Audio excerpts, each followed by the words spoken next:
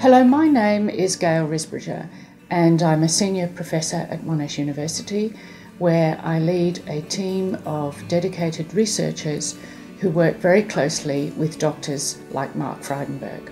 I'm Mark Frydenberg, I'm a Professor of Urology and a prostate cancer surgeon. I continue to play a very active role in the uh, prostate cancer research program. The reason for this is that it is very important for the scientists to not only have access to patient tissues, but also to clinician input to help direct the research. My name is Dr Emma Beardsley and I'm a cancer doctor. The advances that we've seen in the last five years have been because of the combined work of doctors and scientists. So my job is to communicate the science we do to other doctors in the field and also to the patients.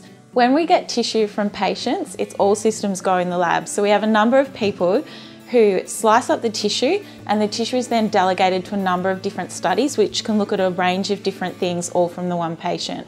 I love coming to work every day because you never know what's going to happen. I love working with individual prostate cancer patients and making a difference in their lives and the biology that we are conducting is really going to improve outcomes for patients in the future and that means a lot to me.